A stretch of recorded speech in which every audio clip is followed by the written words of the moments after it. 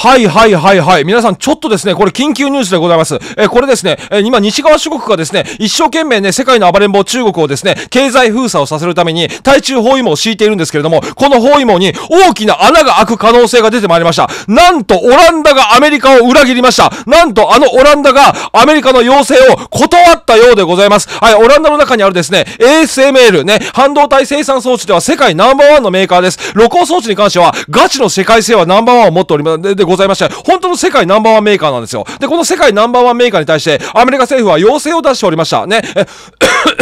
中国をですね、これ経済的にですね、苦しめたいんだ。だから ASML さんとね、オタクの生産装置をですね、中国に売るのをやめてくれ。そして保守点検サービス。もうとにかくですね、中国に対して全てのですね、サービスを停止してくれというですね、これ要請をしておりました。これはね、日本にも来てるんだよね。半導体生産装置でですね、世界に簡単な企業は、国はですね、3、3つでございます。アメリカと日本とオランダでございます。ね。だからこそですね、アメリカはですね、もう中国に対しては止めてるんだよね。でね、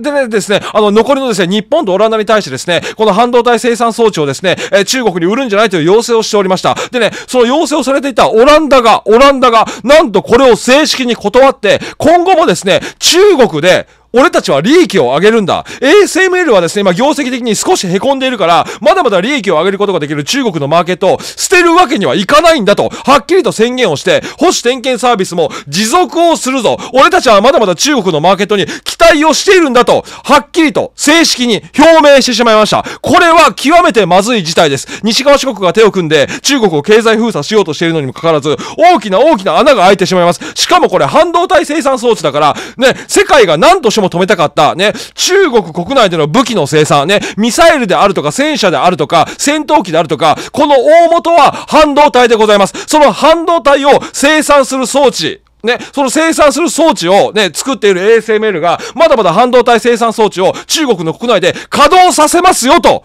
宣言してしまったんですよ。これは本当にまずい時代です。どうも、闇の熊さんでございます。はい、ということでですね、これね、これはちょっと俺想像外だったわ。おそのね、状況をお話ししていくとですね、今ですね、あの、世界っていうのはですね、あの、中国に対してね、経済封鎖をですね、やんわりやんわり行おうとしてるんだよね。で、アメリカは全然やんわりではなくてですね、とんでもない勢いで中国とのね、経済的な分断を図ってるんですよ。で、これね、今日のニュースよ。これさっきのニュースよ。さっきもですね、アメリカと、どえらい発表いたしまして、バイデン政権、アメリカのバイデン政権が、なんと鉄鋼関税を3倍にするということを検検討するということをですね、正式に発表しまして、これに中国政府がガン切れしました。ね、あらゆる ごめんね、インフルエンザまだ治ってないんだ。あらゆる措置をね、取ってですね、この状況を打破してやるという形で反発をしました。これ何かというと、簡単に言うとですね、中国からね、アメリカが鉄鋼をまだ買ってるんですよ。鉄鋼っていうと、あの自動車のですね、ボディに使われたりとかしてるよね。ね。だから、でもね、これね、中国がアメリカに鉄鋼を輸出しようとすると、税金が今までの3倍かかるというもう完全な制裁なんですよ。となるとですね、アメリカの国内で中国の鉄鋼を使ってね、自動車の生産なんかを行って行っているメーカーがあるとしたらですね、どう考えてもサプライチェーンの見直しをね、これね、あ強いられます。もう中国、完全3倍になっちゃったらね、もうね、コストがだだ上がりになってしまいますから、中国の鉄鋼なんか使えないという状況に、まず間違いなくなります。間違いなくなる。ちょっと見てみる、このニュース。このくらいね、今ね、西側諸国っていうのは中国に対して制裁を行ってるんですよ。ね。そのさら短い記事だから読んでみようかね。え、アメリカのバイデン政権が中国から輸入をする鉄鋼などにかけている関税を現在の3倍に引き上げるという方針を示したことについて中国政府は正当な権利を守るため必要なあらゆる措置を取ってやるからなと反発をしました。アメリカのバイデン政権は17日中国から輸入をする鉄鋼とアルミ製品にかけている関税を3倍に引き上げてやるということを検討すると正式に表明をしました。これに対して中国外務省のですね、え、林報道官は次のように反発をしました。ね、中国側が正当な権利を守るために必要なあらゆる措置を取ってやる。その上で我々はこれまでもアメリカ側が公正な競争の原則を尊重し、え WTO のルールを守って中国に対する、え、保護貿易的な措置を直ちにやめるように求めてきたと述べ、え今後ですね、WTO 世界貿易機関への提訴も含めてあらゆる対抗措置を検討する考えを示唆したという形で、もうね、経済に関してアメリカと中国はもうね、バチバチにやり合ってる。バチチバチにやり合ってる。で、そしてですね、アメリカはその協力をですね、え日本等にもね、求めてきてるんですよ。世界中に求めてきてるんですよ。それがですね、こちらでございますよね。はい、アメリカ政府がですね、ASML に中国向けのサービス業務を打ち切りを要請した。これ今月の頭の話なのよ。もうとにかくですね、生産装置を売るんじゃない。そして保守点検サービスもするんじゃない。保守点検サービスさえしなければですね、中国が昔買っている生産装置もですね、あっという間に壊れてしまうであろう。そういう考えのもとですね、日本とかオランダにですね、これ要請をしていたわけでございますよ。でね、要請をされていたですね、この ASML ってガチの世界ナンバーワン企業なの。コーヒー飲んでいい？ですね、えー、ASML っていうのはですね、あの、露光装置でですね、有名なオランダの半導体生産メーカーでですね、半導体を製造するときに必要になるのが、露光装置でございますよね。そのメーカーであるオランダの ASML は、2024年の1月から中国への製品輸出を制限されておりますと。ね、これアメリカからの要請によって、製品そのもののですね、輸出はですね、制限されていくんですよね。え、その措置を前倒しして、販売出荷を停止するように、アメリカが要請したということが分かりました。ね、こういう記事で見て分かるでしょう。ASML っていうのは露光装置でございますから、から日本で言うとね、えっ、とね、多分ね、キャノンとかニコンと同じような会社になりますよね。今だったらソニーもそうなるのかな？うん。のライバル企業でございますわね。ライバルつってもですね、ASML の方が圧倒的に強いんだけどね。で、日本もですね、えー、この同じような要請をですね、受けておりまして、日本で言うと、あの、多分ね、東京エレクトロンとかになってくるかな？あの、そう、多分そうなってくるんだよね。えー、でですね、この要請を受けていたですね、日本とオランダっていうのは、やっぱりね、悩んでいたわけでございますよね。え、やっぱり中国のね、経済は抑圧したいと。しかし中国っていうのはまだまだですね、あの、美味しいマーケットでございますから、この要請に乗っかってしまうと、日本とオランダの企業は弱くなってしまう。売り上げが減ってしまう。そういう状況であることには間違いなかったんですよ。でもね、日本はおそらくね、乗るつもりだったと思いますよ。多分。あのね、11月のアメリカ大統領選挙があるでしょ。あそこでね、バイデンからもしトランプに変わった場合、この方針がどうなるかわからないから、ぐずぐずぐずぐず言いながら、11月くらいまでは引き伸ばして、そして何らかの形で中国の制裁に乗っていくという形にね、日本はね、おそらくなると思いますわね。多分そういう形なるで、この間の岸田総理のですね、アメリカ訪問なんかを見てもですね、アメリカとはですね、非常にこう、え仲、仲良し、小良しでございましょう。だからですね、これアメリカの要請にはね、日本はね、答えるはずだった。であるならば、ね、もう片割れのオランダもおそらく答えるだろうとね、答えてくれるだろうと僕は思っていたんだけれども、はい。なんと、なんと、今日、明確に、今日、明確に、俺たちはまだまだ中国のマーケットで利益を上げさせてもらいますということをね、これね、正式に発表してしまったんですよ。で、その背景がですね、これ ASML の業績がね、いまいちね、今伸びてないらしいんですよ。で、この状況で中国のマーケットをですね、捨ててしまうとですね、業績が大きくダウンをしてしまうと。だから俺たちはアメリカの要請を断って、中国でまだまだね、あの、売り上げを上げ続けるぞ。っていうことを発表しちゃったんですよ。でもね、これ厄介なことにね、これをやってしまうとですね、オランダ自体がですね、これね、中国から、あ、違う、アメリカからだよ。ね、オランダのこの ASML がアメリカから何らかの制裁を受ける可能性が出てきてるんですよ、今。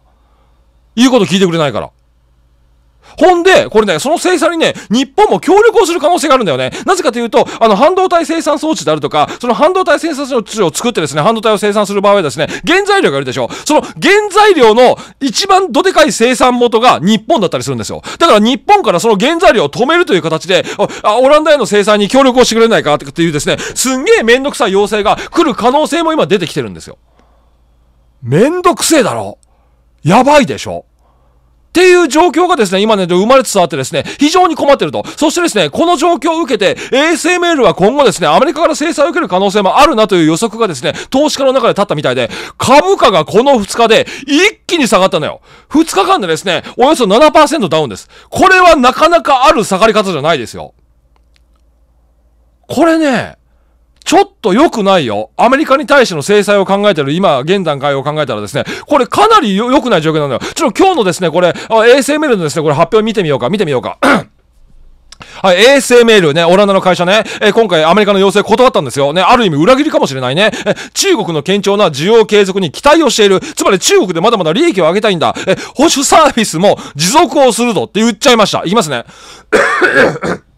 ごめんね、ちょっとね、ほんとね、あのね、まだインフルが治ってなくてね、俺いつも喉痛めてるよね、ほんとね。えー、いきますね。えー、オランダのですね、えー、半導体装置メーカー、最大手 ASML はの幹部はですね、17日昨日ですよ、中国顧客からの需要が堅調に続いておりまして、同社の受注残高の約20%を占めることを期待していると述べました。まだまだ中国には期待してるってことを言っちゃったんですよ。で、えー、ピーター・ウェニク、えー、CEO はですね、第一四半期の決算後、決算発表後のですね、電話会議で、中国の顧客に販売済みの機器に対するサービスを提供できない理由は、現時点ではない、アメリカから要請されていることなど理由にならないとしてですね、今後も保守点検サービスを続けて、中国の中で利益を上げ続けていくと、え言及をしてしまいました。えアメリカのですね、オランダ政府は、昨年導入されました、対中国輸出規制の対象となる ASML の、え先端半導体製造装置の保守修理などのアフターサービス提供をめぐって協議を続けていると。で、アメリカはですね、この保守サービスさえやめてしまえば、中国のね、中にあるですね、半導体生産装置は使えなくなるだろうから、とにかくやめてくれ。いや、でもオランダ側としては、やめてあげたいよ。協力はしてんだけれども、それをやってしまうと、うちのですね、あの、大事な大事な会社であるですね、ASML の売り上げが下がってしまうんだ。ちょっと考えさせ、つって、ぐずぐずぐずぐず知らんだけれども、ASML がですね、俺たち中国の負けで捨てる気ないからって言っちゃったんですよ。コーヒー飲みます。はい、バイデンアメリカ政権は ASML に対して中国での製造装置向けの保守点検などのサービス業務を打ち切るにように要請する構えを見せていました。でもこれを断ったんですよ。ロジャー・ダッセン CEO はです、CFO はですね、中国企業の需要は最先端反動装置、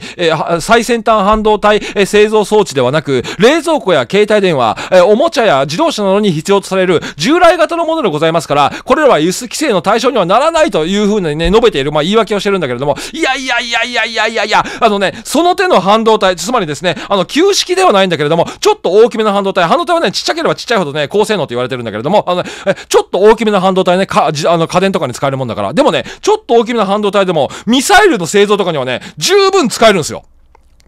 十分使えるの。だから止めたいの。でも止めてくれないんだって。はい、ASML のですね、第一四半期の売上のうち、中国向けが過去最高の49%を占めたものの、近年では中国は台湾と韓国に次ぐ3番目の市場になっている。そう、だからね、今中国のね、マーケットの重要性は落ちては来てるんだけど、ただまだ捨てられないっていう判断をしちゃったんですよ。ね。ほんでね、っていうのが状況でございました。ほんでね、これ最後にはですね、これね、ASML がこの判断をしてしまったその背景なんですよ。ASML ショックって呼ばれるくらいですね、株価下がったんですよ、今回。これ今日のニュースね。ASML ショック、オランダ、オランダショックと言い換えてもいいかな。ね。日経平均、オランダショック一服。ね。え、次は TSMC 決算業種という形で、これ、ASML ショックって言われるくらいですね、あの株価に影響を与えてしまったのが今の ASML のえ業績であり、このアメリカを裏切るという判断なんですよ。ね。その背景書いてありますから、ちょっとね、小難しいんだけれども、あの、せっかくだからね、これを読んでからね、読んで終わりにしたいと思います。え、ASML の状況でございます。いきますよ。オランダのね、え、半導体製造装置大手 ASML、え、ASML ホールディングの、えー、四半期決算を機に強まった半導体株安ね、え、17日の午後にですね、え、欧米市場よりも一足早く ASML ショックが直撃をして、急落をしていた日本の半導体関連株だけに、2日目の今日の下げ幅は限定的だった。え、株式市場はひとまず冷静な対応を示したと言えるとね、だからね、あの、なんだろうね、あでっかいでっかいですね、なんとかショックみたいなところにまではいかなかったんだけれども、そう、そのくらいですね、ASML って日本の株価にも影響を与えるくらいどでかい会社なんだ。それはまあ世界一だからね、シェアね。はい。え、え午前中のですね、株式市場で、はい、日本のですね、半導体製造装置メーカー、東京エレクトロンですね、は一時ですね、前日比3.2%安となりましたが、その後はですね、下げ幅を縮小して0.9%安で午前中を終えました。レーザーテックと、えアドバンテストに関しては、ここもね、半導体メーカーだね。え、え、これなんていうの？え、ちょ、朝、朝安後でいいのかな？に切り返して上昇して終えました。これらの銘柄は、日本時間17日のですね、え14時頃に発表された ASML の2024年の1月期から3月期の決算を受けまして、前日の取引終了にかけて急落をしていました。え底堅い半導体株のですね、動きを受けまして、一時300円も下げたですね、日経平均も切り返して、129円高のですね、え3万8090円で、午前中を終えたという話でございます。そして ASML の1月から3月期の決算は、売上高や将来の売上高につながる受注額が市場予想を下回ってしまったんですよ。だから中国を切れないという判断をですね、下さざるを得なくなってしまったんだよね。じゃあ、こういうの見ます。はい。半導体とですね、えーえー、製造装置需要の先行きに対する懸念が膨らみまして、先行して日本の半導体関連株が下落をしました。えー、当のですね、ASML は17日のアメリカ株式市場で7%安に沈みました。これはね、なかなかない下がり方ですよ。本当にね。えー、で、同日のですね、えー、アプライドマテリアルズや NVIDIA がですね、大きく下落をするなど、アメリカ半導体関連株にも売りが波及してしまいました。わかります？あの NVIDIA に影響を与えてしまうのが AS ASML なんですよ。で、そ、そこが中国の制裁に、これ以上は協力できないって言っちゃったんですよ。これはちょっとね、やばいよ。はい、の野村証券のですね、吉岡リサーチアナリストは、ASML の決算に対して、受注額のですね、減少は、えー、四半期のブレの範囲で、半導体製造装置の市場、えー、SP ですね、の市場はですね、底入れ後の緩やかな回復局面という状況が変化したわけではないと。ごめんね、もう風邪でごめんね、指摘と。で、え受注のですね、え2四半期移動平均はですね、え前年同期比で、え増加に転じておりまして、鳴らしてみれば受注の回復傾向は続いているという見立てであるとね、えだからですね、このまま 中国を切るとか、そういうことをしなければなんとかなるんだけれどもという状況だからなおさら切れないんだろうな。えゴールドマンサックスのですね、え中村アナリストも ASML が24年通期の見通しをですね、据え置いたことなどを理由に、受注売上高ともに四半期の経常タイミングによる影響が大きく、え24年の後半から25年にかけて成長ストーリーに大きな陰りが出ているわけではないと説明をすると。だから、中国を切るとか、あまり大きなことさえしなければ、ね、ASML は堅調に伸びる可能性だってあるんだよという状況なんですよ。だからこそ悲しいけれども切れないという判断になったっぽいんだけどね。いや、でもこれはちょっと大きいですよ大きいですよこれ。中国のミサイルの数増えちゃうよ、シンプルに言うと。はい。え、日本のですね、AP 関連銘柄へのですね、影響として、今回のですね、ASML 決算のインプリケーションはおおむねニュートラルで、え午前、え前日午後のですね、株価の急落は、やや過剰反応であったとの見方を示すとね、そら、7%下がったらね、そら、えってなるからね。うん で、半導体株へのですね、売り圧力が限られたもう一つの理由が、午後にですね、発表を控える半導体の受託生産で世界最大手の TSMC の四半決算への期待であるとね、TSMC はですね、た確かね、この後ね、超スーパーウルトラ利益を上げてたはずですよ。なだから株価は持ち直したんだけど、TSMC がですね、10日に発表した3月の売上高は、え前年同同月比のですね、34%増のですね、100、えじゃあ、1952億、1000、ええ100万台湾ドルだった、え人工知能 AI 関連などの半導体需要の増加が改めて示されました。だからすっげえ業績良かったってことですね。はい。え日本に来てくれてありがとうえ1月から3月期のですね、売上高はですね、え前年同時、え同期比17%増のですね、え5926億台湾ドルと、え10日時点のですね、えクイックファットセットがですね、まとめた、え市場予想、え5788億ドルをですね、なんと上回りました。TSMC は NVIDIA や Apple などに半導体を供給して売上の6割超をですね、アメリカで稼ぐという会社でございます。ASML も TSMC の大口許可でございますからね、とね、え TSMC はですね、日本時間、え14時から30分にですね、1月から3月決算をですね、発表する予定でございます。で、これを、この決算の発表がですね、わーって賑わったんですよね、確かね。えその後ですね、15時からの説明会で、え4月から6月期の、え業績見通しなどを示します。え内容次第で、世界の半導体関連株は再び大きく動きますとね、え市場ではですね、今回の決算発表が市場の懸念を高める結果となり、TSMC が崩れれば、世界の半導体関連株は、もう一段の調整を迫られるであろうと、警戒する声もあると、TSMC 決算は、前日の ASML ショックをですね、跳ね返す結果になるんでしょうか。はたまた、ASML 同様、半導体株へのですね、懸念を強めるものになってしまうんでしょうか。午後の株式市場からは、一段と目が離せないという話で、確かね、これね、俺ちゃんと読んでるんだけど、TSMC は相当いい業績発表したはずです。確かね。うん。でもですね、びっくりでしょ？あの、今回ね、中国の、えー、経済制裁をですね、これね、やんわりと断ってきたですね、このオランダの SL、えー、ASML、あの、TSMC と並び称されるくらいの会社なんですよ。えぐいでしょ？えぐいでしょ？で、その会社が、ね、中国のね、あの、経済封鎖には、これ以上協力できないかもしれないってことを言ってきたんですよ。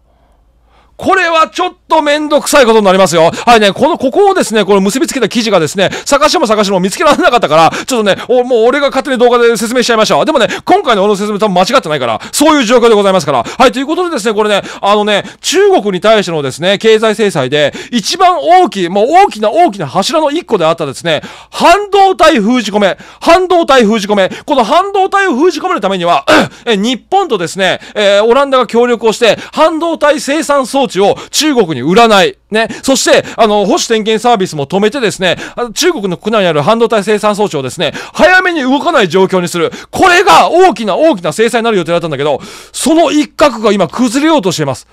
ちょっとこれはね、でもね、もうね、ね、民間企業だし、えー、利益を上げなきゃならない民間企業でございますので、これ以上何とも言えないところなんだけれども、ここにね、アメリカがガン切りして制裁とか加えてですね、関係が悪化していくと、またわけわからんことになっていっちゃうから、これちょっとめんどいよ。これちょっとめんどいことになってきましたよ。はい、ということだったのでですね、これで結びつけた記事がですね、なかったから、気がついてない方結構いるなと思ったんで、あえて動画にさせていただきました。はい、こんな感じでですね、ちょっとね、あのね、気になるですね、こう中国関連、中国への制裁関連に関してはね、俺めっちゃ気にしてるから、またですね、シンボリックなニュースがあったら皆さんにお届けしたいなと思いますので、もしよろしければチャンネル登録お願いします。というわけで、熊さんの動画終わりたいと思います。SML、もうちょっとインフルエンザをしてさ、ええー、と思って動画作ったんだからさ、ちょっとさ、ええ感じで考え直してくんね。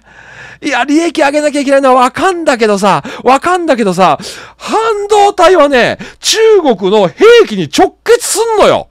中国の兵器増強に直結すんのよ。ここはね、もう1秒でも早く止めたいところなんですよ。いや、なんとかならんかねということで、熊さんの動画終わりたいと思います。バイバイ